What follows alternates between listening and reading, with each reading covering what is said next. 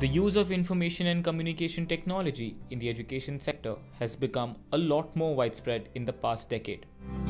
With the advancements in technology, the teaching formats in schools have changed and they have allowed teachers to make teaching and learning more fun.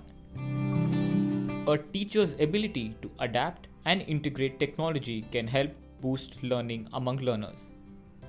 Familiarity with online teaching methods is crucial since knowledge and understanding of such methods can help to reach the remotest locations of the country.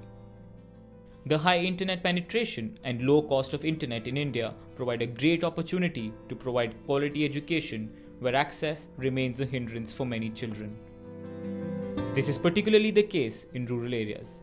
The COVID 19 pandemic has further proven that the education system need to be on their toes and have to adapt to the changing times. As the UNESCO 2021 State of the Education Report for India highlights, in such testing times, schools and teachers use different forms of teaching methods, including Zoom meetings, Microsoft Teams, and WhatsApp, among others.